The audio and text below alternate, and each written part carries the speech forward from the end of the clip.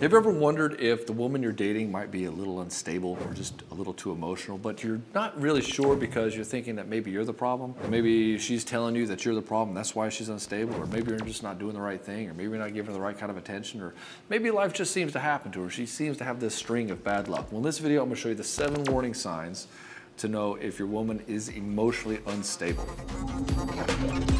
Warning sign number one excessive jealousy. It's this feeling that comes up because you're trying to protect your mate. It's mate protection. You want your mate to be only devoted to you and not be distracted by somebody else. Why? Well, you don't want to raise somebody else's kid.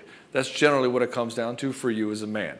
But for her, if she's jealous of you all the time, she's worried that you're going to go, of course, see or pay attention to another woman, and then all your resources are going to go somewhere else instead of to her. And so excessive jealousy is defined as her being jealous for no reason. Of course, if you're actually flirting with somebody and you're actually paying attention and you're kind of secretly liking that attention, that is not excessive jealousy. That is, she's being jealous for a reason because, well, you are pulling energy out of the relationship. But if she's just jealous for no real reason and you're just going about your business and she's like, I don't like you going to the gym or I'm afraid of this coworker, I don't like your secretary, that's excessive jealousy. And so if you're dating somebody like that, you're just gonna have to tell them like, look, I'm true to you and you're just gonna have to trust me. And if they keep pushing it on this, you're gonna have to start setting some boundaries. And it's not your job to make them less jealous. It's their job to deal with their jealousy. You're just living life the way you were living life. You're just operating the way you operate. And that's how you wanna live. And that is not for you to change yourself just because this other person's getting jealous.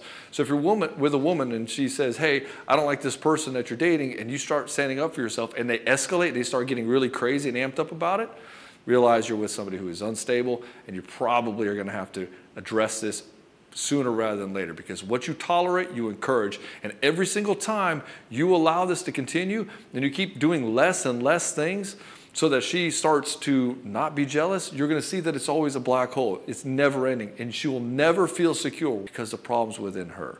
It's not with your behavior. And so if you are honestly going through life in the way that you feel like you should, and she's still jealous about it, realize that that jealousy is excessive. An emotionally unstable person is going to have frequent and wild mood swings. Now, it's one thing to be upset, it's one thing to be sad, it's one thing to be angry. But to go from like raging out to crying, it like in the same day, and this happens all the time, that's uncommon. Now, even if your wife is pregnant or she's going through some sort of hormonal shift, it's not an excuse for her to just act like this, act like somebody who has no emotional control over themselves. She's a grown ass woman. She has just as much control of herself as you do, and she should hold herself responsible in such a manner. But if she's having these huge emotional, wild swings, I mean, that right there is the definition of somebody who's emotionally unstable. But the problem is they'll blame you for it. And so the thing is, it's not necessarily your problem, or well, it's your problem, but it's not your fault that they became this way. And so anytime they have these huge emotional swings, like one minute they're just super angry, the next minute they're crying, the next minute they're jealous, the next minute they're sad, the next minute they're just irritated, and they'll say things like, oh, you just ruined the day. And oh, it's always this way with you. And they start throwing this at you. Realize that this is emotional abuse. You shouldn't take it. You shouldn't be in that presence of that person while this is happening. I know if it's your wife or something, it gets a little trickier, but just know what that is. Just knowing what that is can help you immensely. Just realize that you're probably not going to have a good relationship with them. So emotionally unstable women, and really anybody, they suffer from a lot of lack of accountability. And so everything that they're doing, all the stuff that's happening in their life is your fault. So there's no accountability. You can't actually have a conversation with them and say, hey, I'd like you to change this thing because I feel like, you know, you're being overreacting, you're angry about things, or hey, why didn't you do what I asked you to do? It becomes a problem and you're always at fault. It's always your problem. You're the problem. You're the problem every single time. And it becomes this thing where it's like, well, I can't tell her anything. You can't tell her anything. And this will become a problem where she takes no accountability for anything. Because an emotionally unstable person isn't taking accountability for their own emotional state. And so when you're with somebody who won't take accountability, they won't apologize, they won't say they're sorry, and they won't make changes after the fact, you're with an unstable person. It's just not going to work. Somebody who's emotionally unstable is going to be usually a very big manipulator. They manipulate in two ways. One is they'll play the victim. It's poor me, all these things are happening to me, and I can never get further in life, and this is a terrible day, and I wish people would care about me, and I wish my kids would call me, and I wish and it's just always this thing, always something else, always something where they're this helpless person and they have no agency or control over their life and they need somebody, you, to come in and save them or somebody to come in and save them. They don't get enough money from the government or they can't use the machine at the gym because somebody's always on it and they come in there and they try to get you to feel bad for them they feel like oh well this person's getting the short end of it and the thing is they're living the same thing as you are sure people get victimized sometimes but you get to choose if you're a victim in that space or not. And so, as a guy, you probably looked at, you're like, I'm not a victim. I don't look at myself as a victim, but then why do you look at her as one? And so, they're always going to play this game of victimhood. That's one type of manipulation. The other one, and this is, I mean, there's lots of different types, but these are the big, big main points. The other one is they're going to rage out. And by raging out, they're gonna, you're going to be like, okay, hold on, whoa, whoa, whoa, it's okay, I'll just, and then you'll capitulate because you don't want to go through this crazy, heavy emotional space. And so their heavy emotions, their unstable emotions, are the weapon that they use in their manipulation. And they do it because it works.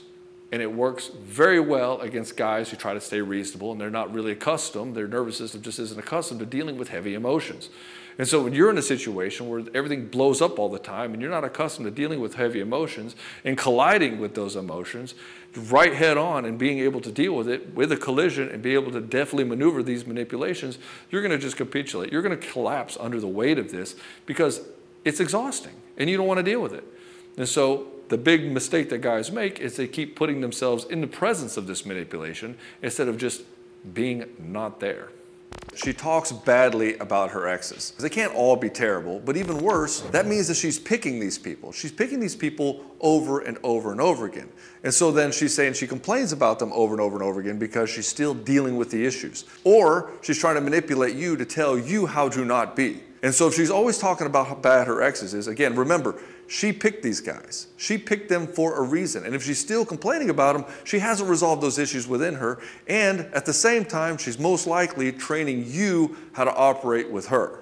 For this manipulation to work, they have to be overly dramatic. Just saying it regularly isn't usually enough to elicit the kind of response that they want because what they're trying to do is trying to get you to take action for them. And so they're going to be overly dramatic about everything. Oh my gosh, nobody ever cares about me. My kids never call. That guy's a jerk. And so they're trying to elicit you to be the flying monkey, as a wicked witch would have, so that you go and do things for her. She'll play the victim and she'll just be overly dramatic about stuff so that you will pivot and move. If she's not overly dramatic, you might not take it seriously enough and you might not move as fast as she wants you to. And so she has to lay it on really thick.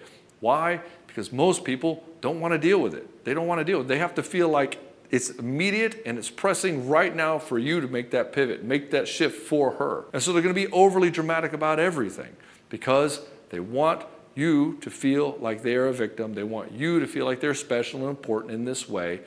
And they want they feel significance from it. An emotionally unstable person is going to have boundary issues because they're not thinking about you. They're thinking about all the crazy going on in their head, and everything is about them. Everything is about them. Everything's about their emotional state and what they have to do to get around it or get over it or the victim or raging out or something. And so it's never about you. Because it's not about you, there's always these boundary issues. They're always going over your boundaries.